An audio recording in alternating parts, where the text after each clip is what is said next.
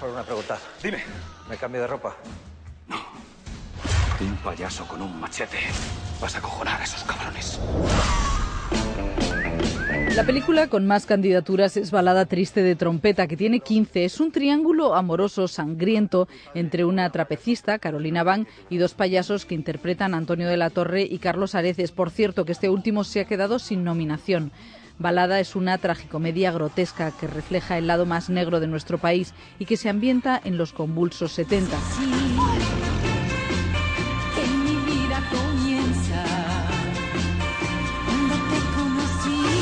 Si gana a los Goya, Alex de la Iglesia pondría un final apoteósico a uno de los años más agitados de su carrera profesional. Pues yo también. Mira, Andreu, El director mallorquín Agustí Villaronga consigue 14 candidaturas para Pan Negro, una durísima historia de la posguerra en un pueblo catalán.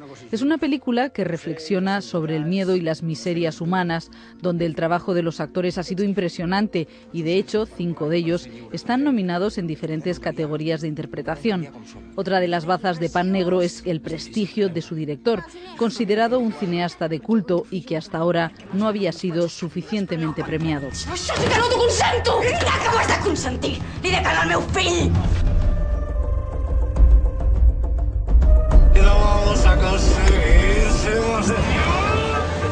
También La lluvia ha sido una de las películas más esperadas de la temporada. Aspira a 13 premios Goya y ha sido la cinta española que la Academia mandó a los Oscar, aunque se quedó fuera de las cinco finalistas.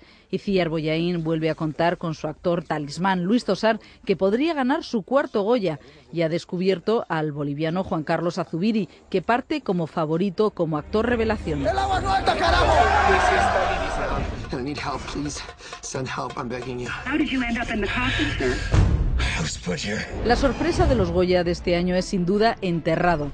La segunda película de Salmantino, Rodrigo Cortés, ha conseguido 10 candidaturas. Es una de esas películas milagro que ha salido adelante tras mil problemas. Ha sido rodada en inglés en 17 días, sometiendo a unas jornadas maratonianas a Ryan Reynolds, el actor americano que también está nominado como protagonista por haberse metido en este ataúd e interpretar a un hombre desesperado.